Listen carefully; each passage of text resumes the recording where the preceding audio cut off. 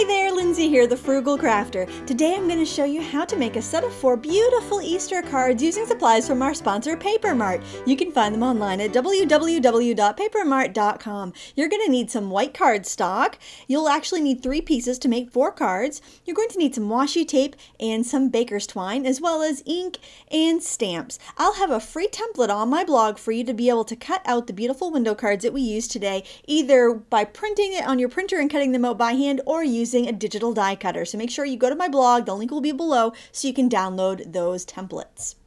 You can see here how I've cut out my four templates. It's all arranged so it's on one 8.5 inch by 11 piece of cardstock so there's no waste. So I'm going to take the bunny template and I'm going to use an embossing folder to give it a little bit of texture, but you can use it plain if you prefer and just crank it right through the machine for a beautiful subtle texture on your card window. I think embossing folders are a great tool to invest in because once you pay for them, you can use them over and over again without it costing you anything and it adds such a nice dimension to your projects.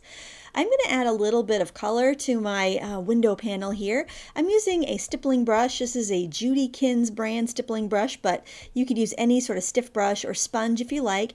And I'm using the same color I used to stamp the sentiment on my card. And I'm using the brush just to put a little bit of rouging around the edge of my window front. There we have a lovely subtle look that really brings out the texture from our embossing folder. Sometimes it's hard to see when you have a white on white card like that.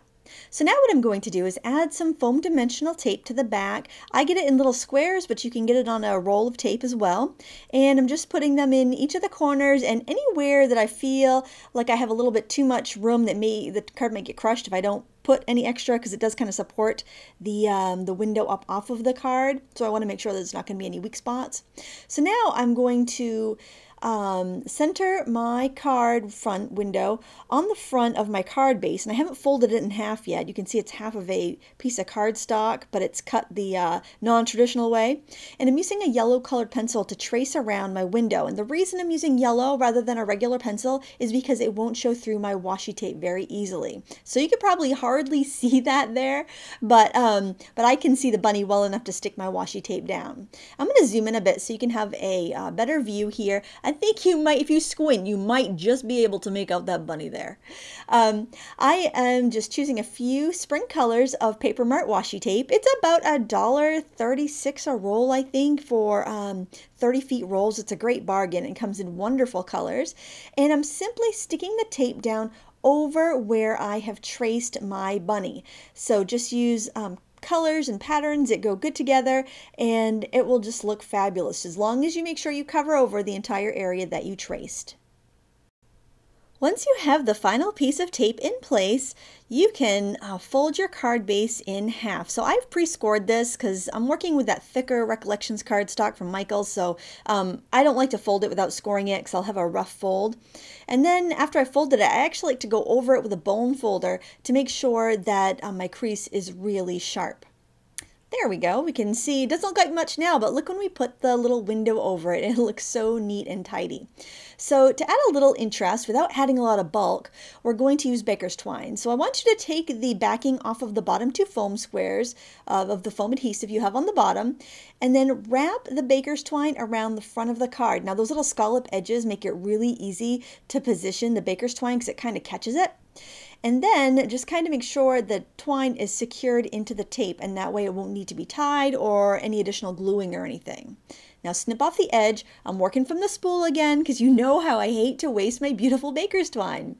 Now just stick it down on your card. At this point, I only have the bottom two tabs um, with the backing paper off, so um, you might want to take all the backing paper off first just to make sure that, um, well, just to make it a little bit quicker. It won't hurt anything if you have to go back in like I did to take off those other tabs. And there we go. Look at that. It's coming together really quickly. The next step is to um, add the little label on the front. Now I already die cut and stamped um, these little happy Easter sentiments, eh, but I wanted a little more color on there. So I'm using a little spring green ink and another stippling brush, and I'm adding some ink to the edges of my little frame there. And I just used the regular steel die that I had that were nice and small, but you could use a punch or you could even just use a rectangle of cardstock. It's completely up to you. Or if you didn't emboss the front panel of your card, you could stamp stamp a sentiment right on the front. So completely um, different options for whatever you want to do. By all means, use what you have on hand. I mean, if you want to make this right now and you can't wait for your washi tape to get here, you could use scraps of paper strips and or um, scraps of ribbon, things like that. So you know, be creative and use what you have. And there you can see the card is almost done. But one last finishing touch I like to add is I like to round the corners, and you can use whatever um, corner rounder you have. I like this one by We Are Memory Keepers because it's super strong and I can chomp um, both layers at once. And here's a look at the finished cards. I think they're just adorable. They're lightweight, they'd be easy to mail, and I think everyone would enjoy getting those this Easter. I want to thank you so much for watching today. Please check out all the supplies I used. The links will be in the video description. And uh, please check out our sponsor, Paper Mart. You can find them online at www.papermart.com where we make you look even better. Thanks so much for watching. Until next time, happy crafting.